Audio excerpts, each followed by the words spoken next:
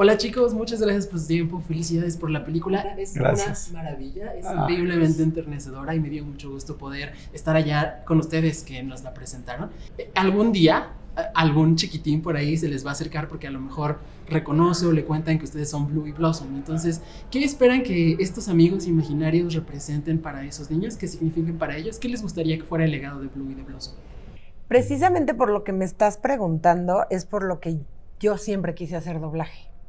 Para quedarme en, la mente y quizá en el corazón de, mis hijos primero y luego de niños, ¿no? Eso es, creo que e- e- ese puede ser el mejor regalo que te puede pasar haciendo algún doblaje, como a mí se me quedó Tintán en el corazón o el Tata, ¿no? Y, y actores, Luis Manuel Pelayo, que, que hicieron doblajes cuando nosotros éramos niños, y tantos actores maravillosos.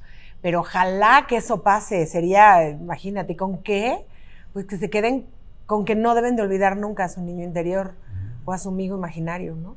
Sí, a mí me gustaría que, que el legado de Blue sea que los niños se sientan como que hay algo dentro, una fuerza dentro de ellos que pueden lograr hacer lo que sea.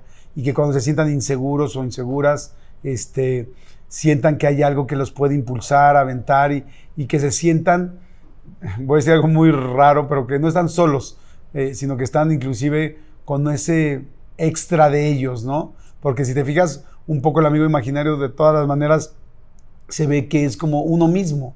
O sea, es uno mismo, pero llevado a tu creatividad, a cómo te gustaría quizá verte, ¿no?